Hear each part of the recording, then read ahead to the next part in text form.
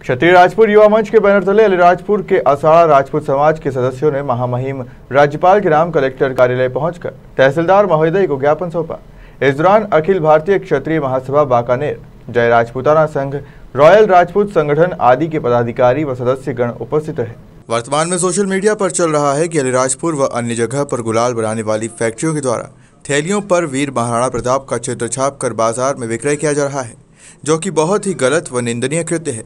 क्योंकि वीर शिरोमणि महाराणा प्रताप इस देश की आन बान और शान है और उनके चित्र का इस तरह से दुरुपयोग कर गुलाल समाप्त होने के बाद गुलाल की थैली कहीं भी फेंके जाने वाला एक कृत्य होगा, जिससे कि वीर शिरोमणि महाराणा प्रताप का और देश का अपमान होगा जय शिवा सरदार की राजपूत एकता राजपूत एकता जय भवानी जय भवानी जय भवानी जय भवानी भारत माता की भारत माता की जय शिवा सरदार की जय शिवा सरदार की को लेकर ज्ञापन सौंपा गया है।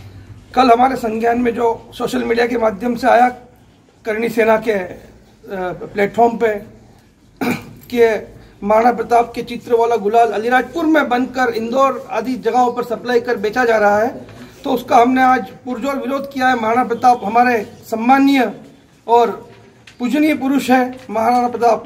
और अन्य देवी देवताओं के चित्र भी सुनने में आया है कि यहाँ पर अलीराजपुर की दुकानों में बेचे जा रहे हैं स्वास्तिक के चिन्ह वाला गुलाल बेचा जा रहा है और अन्य पूजन सामग्री जो यूज़ होने के बाद उनकी थैलियाँ नालियों आदि में गिरती है और अपमान होता है। हम दूसरे किसी हिंदू देवी देवताओं का भी अपमान नहीं सहेंगे। हमारी धार्मिक भावनाओं को ठेस पहुँची है उसी को लेकर आज हमने कलेक्टर में प्रदर्शन किया है ज्ञापन दिया है। दोषियों पर कार्रवाई नहीं होगी तो अब अगली कार्रवाई क्या करेंगे आप? दोषियों पर कार्रवाई नहीं होगी तो चरणबद्ध आंदोलन किया जाएगा।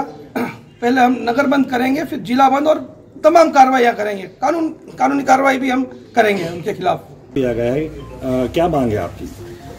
आज अभी दो तीन दिन पहले हमें जब मालूम पड़ा कि महाराणा प्रताप जी जो वीर शिरोमणि होकर भारत नहीं अपितु विश्व के ऐसे सरताज रहे हैं और उनका अपमान जो थैलियों पर गुलाल अंदर गुलाल भरा हुआ और थैली के ऊपर उनका चित्र था उस चित्र को लेकर के आज हमने ज्ञापन दिया है। उसमें हमारे द्वारा यह मांग की गई है क्योंकि गुलाल निकालने के बाद उस थैली को अस्त व्यस्त कर दिया जाता है इधर उधर फेंक दिया जाता नाली में फेंक दिया जाता पैरों में रौंदा जाता।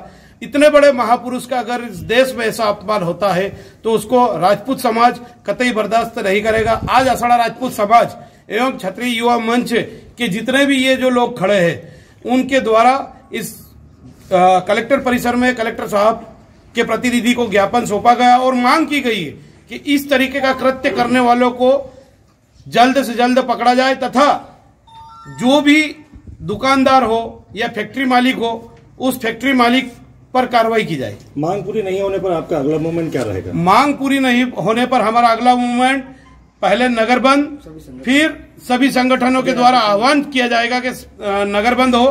पूरे मध्य प्रदेश में इसकी एक लहर जारी की जाएगी ताकि पूरे प्रदेश में एक साथ ऐसा किसी भी महापुरुष के चित्र के साथ ऐसा घिनौना जो कृत्य होता है, वो ना हो और हम सबके साथ मिल करके राजपूत एकता बनाए रखेंगे तथा राजपूत समाज के द्वारा जगह जगह प्रदर्शन किया जाएगा। क्षत्रिय राजपूत युवा मंच व अन्य संगठन ने ज्ञापन के माध्यम से मांग की है।